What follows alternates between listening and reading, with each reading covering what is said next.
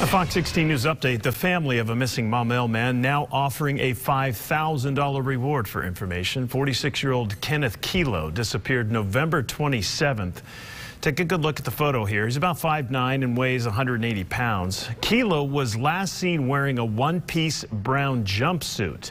If you have any information, please call police and keep in mind you can remain anonymous.